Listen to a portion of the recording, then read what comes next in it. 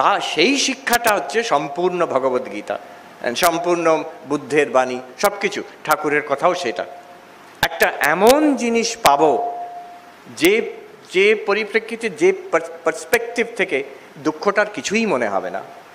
আমার চিরকাল একটা এমন তৃপ্তি থাকবে, মা বলছেন, যেন হৃদয়তে আনন্দের ঘট বসিয়ে দিয়ে গেছে। দুঃখ কি জানি নে বাবা।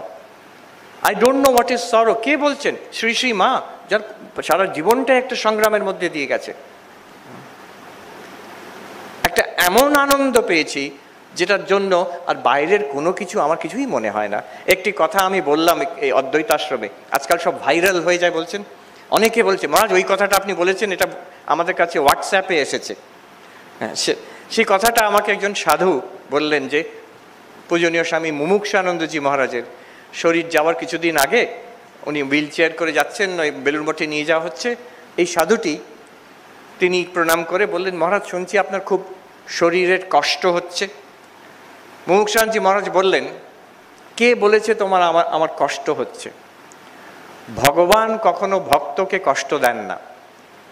যে মনে করে ভগবান আমাকে কষ্ট দিচ্ছেন, সে ভগবত প্রেমী নয় ভগবত দ্বেষী। ভগবান ভক্তকে কষ্ট দেন না। শরীরের কষ্ট আছে। ইজ নট ডিনাইং ইট শরীরের কষ্ট আছে। সে তো থাকবেই।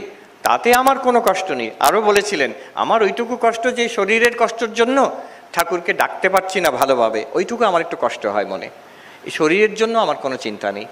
কি উনি পেয়েছেন হ্যাঁ, যাতে তার আর ঠাকুরের মধ্যে এই যে আনন্দটা সেটা এতটাই যে শরীরের এত কষ্ট কিছুদিন পরে মারা যাবেন।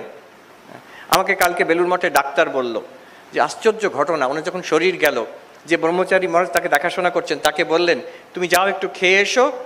খেয়ে এসে তুমি দেখবে আমার শ্বাস প্রশ্বাস চলছে কিনা। যদি শ্বাস প্রশ্বাস না চলে, ওই ডাক্তারকে ডাকবে। ও এসে আর ডিক্লারেশন অফ ডেথ দিয়ে দেবে। আর আজকে সময় নেই, দাহটা হবে না, কালকে হবে। তো এত শান্তভাবে, সে ছেলেটি বুঝেনি, সে ভাবছে তো বলছে বলছে। ঠিক তাই সব প্রত্যেকটা পরপর তাই হয়ে গেল। যাই হোক এই একটা এমন জিনিস পাওয়া যাবে যেটাকে পেলে আমার দুঃখ কষ্ট কিছুই মনে হবে না। আমিও মুমুক্ষানজি মহারাজের মতন বলতে পারব, এই শরীরের কষ্ট তেমন কিছু নয়। আমি শুনেছি, আমরা তখন ব্রহ্মচারী, মহারাজ পূজনীয় স্বামী ভূতেশানজি মহারাজ, প্রতিদিন প্রশ্ন উত্তর হতো সাধুরা। আমরা একদম নতুন ব্রহ্মচারী, ওইটুকু ঘরের মধ্যে জায়গা হতো না। আমরা জানলার বাইরে থেকে উকি- মেরে দেখতাম। আর আমাদের সুবিধের জন্য মহারাজ ওই মাইক্রোফোনের ব্যবস্থা করে দিয়েছিলেন। ওখানে ছোট ছোট স্পিকার, সেটাতে আমরা শুনতে পেতাম। একদিন মহারাজকে কেউ জিজ্ঞেস করছেন ভূতেশানজি মহারাজকে, মহারাজ, আপনি কেমন আছেন? শুনেছি শরীরে কষ্ট। তখন মহারাজ খুব সুন্দর বর্ণনা দিচ্ছেন। ভাষার ওপরে ওনার যা অসাধারণ দখল ছিল, বলছেন, আমার হাঁটুটা কনকন করছে, আমার মাথাটা ডিপ ডিপ করছে আমার মাথার ভেতর কানটা ভৌ ভৌ করছে হ্যাঁ, চোখটা কড়কড় করছে। এই করে করে প্রত্যেকটা অঙ্গের দিলে সব ডেসক্রিপশন দিয়ে বললেন তবে আমি কমপ্লেন করছি না এসব নিয়ে আমি ভালোই আছি। আরেকজন আবার আমি শুনেছি ওনার জ্বর হয়েছে।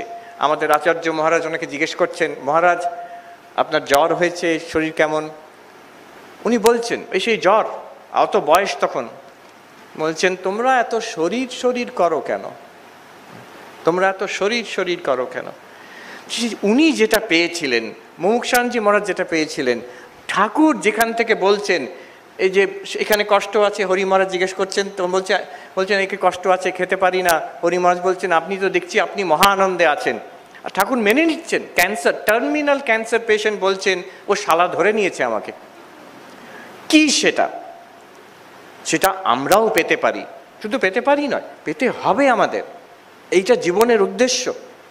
Ultimately this is the purpose of life যে যেখানে থাকুক, কেউ সন্ন্যাসী, কেউ গৃহী, কেউ ছাত্র, কেউ বৃদ্ধ, আমাদের জীবনের উদ্দেশ্য হচ্ছে সেইটি লাভ করা।